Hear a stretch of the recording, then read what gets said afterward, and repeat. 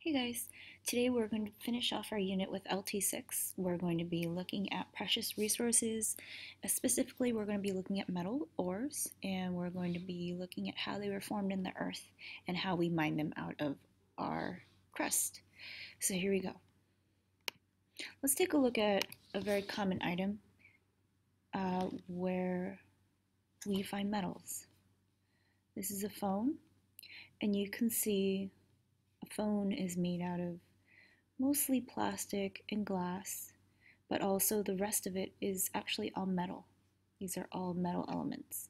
Now, um, the question is, where do the metals we use come from? So let's look at these two words. An ore is a rock with, that contains minerals, minerals with useful elements. Ore deposits are clusters of ores found within rocks on the Earth's surface. There's usually enough of the mineral to make a profit. Now, um, ores are usually found everywhere, uh, but ore deposits are a little harder to find. A lot of times, um, metals are not clustered like this, they're kind of mixed in with the rock. And when we find uh, metals that are concentrated like this, then people will start to mine it or dig it out. Let's look at what the most abundant or the, the most common ores on Earth are. So these are easy to find and you can find plenty of them on the Earth. So first we have aluminum, used in aluminum cans. We have iron, and iron is used in many, many different things. Machines, here's a, a pan, an iron skillet actually. And magnesium is another metal you can find it in fireworks. Uh, you can also find it in dietary supplements, manganese, which is in our nickels, and titanium, which is a very hard metal used to reinforce a lot of products that you can see here. So these metals are very uh, easy to find and they're found in common rocks. On the flip side, let's look at the rarest ores on Earth. So these ores are not found very readily and there's um, very small amounts around the world, less than the abundant ores. So we have copper, we have lead, um, which is found in some uh, cell phones and other electronics. It's also very deadly to the body. Uh, zinc, which is a key part in uh, batteries, and gold and silver. Now let's talk about how these ores form. So if we think back to our rock unit, you guys remember that there's three types of rocks. There's igneous, sedimentary, and metamorphic. Um, one of them is igneous rocks. And remember, igneous rocks are, are formed from the cooling of magma.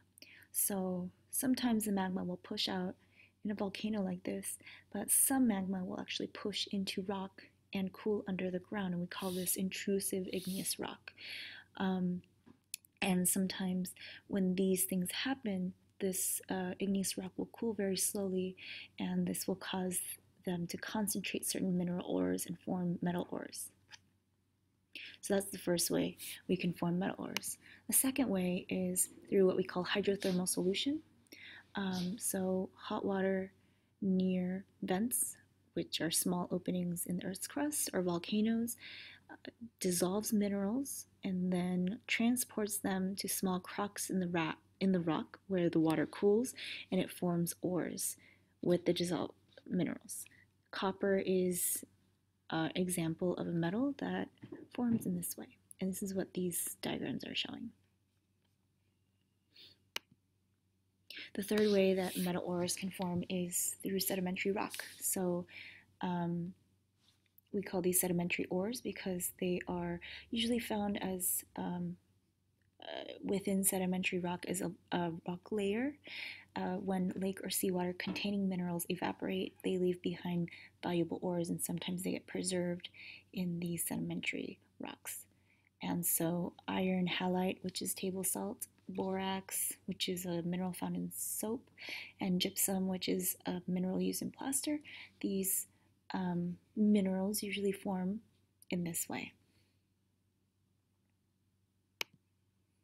Finally, we have what we call placer ore deposits. So uh, this type of ore forms when uh, there's water that weathers this like a mountain, and when it's weathering the side of a mountain, it will break away small pieces of rock that and dissolve some minerals from the rock or soil. The water will travel down and kind of collect in the stream and deposit the minerals. And some of these minerals are metals. And so gold and aluminum are common common metals that are usually found in this way or made in this way. And this is a picture of someone who's mining for gold. You may have remembered in fourth or fifth grade, you guys learned about the gold rush, where in California, where um, people flocked to California to try to pan out gold. So now let's talk about where most ores are located. So Today, most ores uh, we have mined are on what we call the continental crust, which is the outermost layer of the lithosphere, which you all remember is the part of the geosphere that is the outer layer and contains all the rocks of Earth. Um, scientists know that there are ores in the ocean and in the mantle, which is underneath the crust. However, we haven't really uh, developed the technology to be able to mine those metals yet. So now let's talk about how how do we know where to dig to find these metals? So geologists use several clues to figure out where to dig.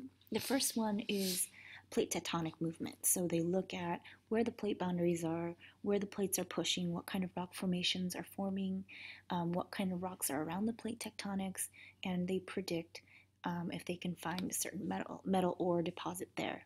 They also study the ways that certain ores form in order to uh, predict where they might locate some metals. So, for example, copper is usually found in places where there's magma. So they'll look around, um, you know, certain areas where there's magma flowing out. Um, or aluminum is usually found in weathered soil of tropical areas where there's humidity. So they might find some place in the in the world where there's uh, humidity and weathered soil. Finally, uh, this is review, but remember when we talked about core sampling, where geologists will drill a hole in a certain area and study the profile of the rock and soils of that area to look and identify for minerals.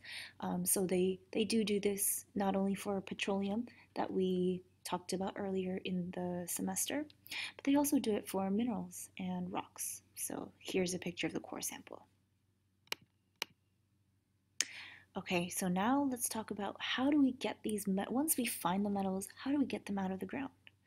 Uh, there's usually three techniques. The first one is surface mining. So we learned about this when we uh, were talking about uh, coal and trying to get coal out of the earth. It's, it's the same deal. So you blast away the surface rock to expose the ore underneath the surface of a certain rock. So this is surface mining. Placer mining is Basically, you're filtering out flakes of ores from the stream gravel. And this is a picture from the California Gold Rush, um, panning for gold. So basically, the metals are heavier than the soil, so they will sink to the bottom of the pan when you wash it with water, and you it takes a really long time to filter out um, ores by hand like this. Uh, today we use um, certain machines that help us do this. Finally, we have underground mining, which is uh, when miners will blast a hole inside a rock and form a tunnel to be able to extract ores from the walls inside of a cave.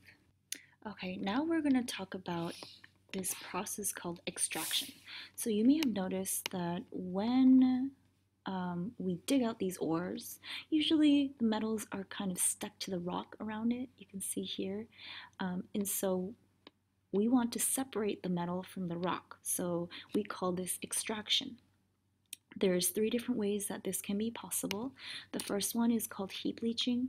This is when uh, there's chemicals like cyanide are added to um, the ore to be able to separate the mineral from the rocks around it. So this is what this diagram is showing.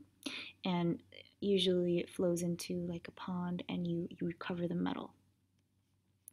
Um, flotation is kind of similar heap leaching, except it's not using a mineral heap or a big pile of the mineral. Uh, usually, you add a chemical uh, to the you know the rock that will allow the metal to attach to you know it's a chemical reaction so the metal will attach to uh, you know whatever chemicals in here and it will float to the top and you can extract the the metal in that way So that's what this diagram is showing. And the last one is called smelting. This is probably the way that um, you have you're most familiar with. So this is when you roast the rock and you roast it to such a high temperature that it melts and it will melt the, the metal that's in the rock and you can separate it um, from the rock itself. This is smelting. Finally, let's talk about the environmental impacts of mining for ores. So mining for ores usually degrades the land or destroys the land and it strips them away from valuable soil that is used by the producers of any ecosystem and it really destroys the ecosystem. So you can see here we use explosives to kind of dig these big holes so we can mine out the ore, but it does leave a significant mark on the land and without the soil on top of here, it'll be really difficult for um, producers and other organisms to really use the land for their homes. Finally, let's talk about the environmental impacts of extracting ores. Remember that mining ores, so this one, mining is to dig the rocks out of the ground to uh, for the metals, and extracting is when we separate the rock from the metal. So first of all, the minerals and ores are non-renewable. Uh, it takes a really long time, millions of years, for minerals to settle and to be um, treated with heat and pressure through the rock cycle and to form. And so once we dig them out of the ground and we start smelting them or we start using them, it's really difficult to um, recreate the ores if we don't recycle them. And this is why a lot of metals are recycled because it's really easy to melt them down and to reshape them again, unlike plastic. Um, Extracting metal from the ore requires tons of energy, around 900 degrees Celsius, and some, sometimes this energy is used by burning or is obtained from burning fossil fuels that may further damage the environment. Not always, but it does add to the uh, energy problem that we have. It's also, if you just recycle 40 aluminum cans, you will save the equivalent of one gallon of gasoline used to mine out aluminum. So again, it just reiterates the importance of recycling metals, aluminum, steel, um, instead of, you know, continuing to dig in the earth and to uh, uh, mine for metals because it does save a lot of energy to recycle.